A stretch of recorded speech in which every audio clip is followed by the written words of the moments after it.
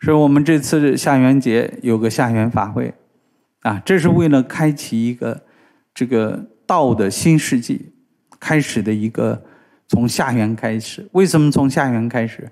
因为从水，啊，水中真精，水中真一之气，从肾中的真火化掉水，说下元这个下元这个它主水，啊，天地水三观它主水。从水里面，为什么在冬月，在十月的十五，这是我们在冬至前面的一个节令，说是下元节是炼水化气，啊，这是下元节的真正的秘诀，它解厄。为什么解厄？你所有的灾难，你所有的不顺利，都是因为体内的阴水潮生，使你太阴了，不能转向阳性。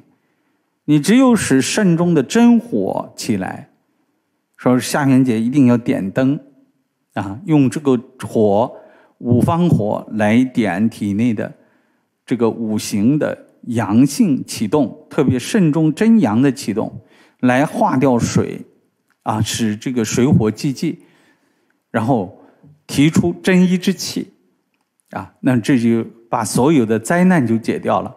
为什么？你所有的灾难。是在体内的 DNA 中的全息纠缠，说只有气才能解结你身上这个紧张的不得了，你一暖和了，有热气了，啪，这个结就解开了，人就舒服了。说是水太冷，要用火治水，然后使这个真气生成，真气生成，是不是这个你的恶难就解决了？你各种的阻挠，这个结就被这个真气，它得到真一之气，它拿着走了，还了他的债了。体内的形体得了真一之气，软了，不僵硬了，气血通畅了，病也就病难也就结了。所以这是一个很重要的节日。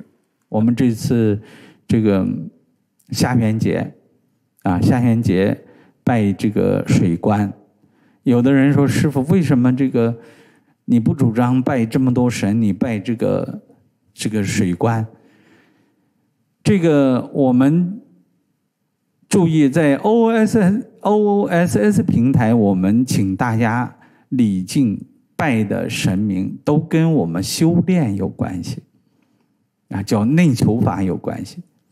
我们人体有百分之七十的水，整个人体称重百分之七十的水。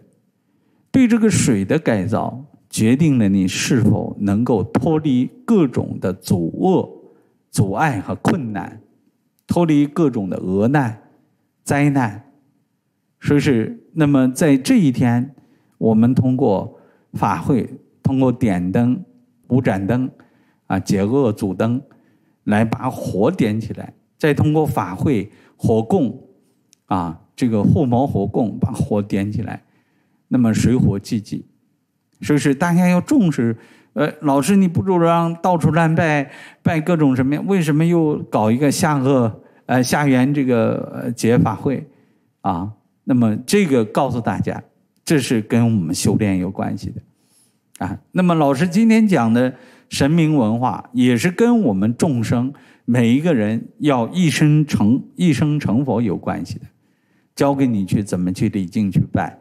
而不是让大家盲目的往外去求，啊，这个乱拜鬼神叫怪力乱神，啊，这个不要乱去拜，也不要多里求。欢迎点赞、留言、分享，弘扬正法，广结善缘，功德无量。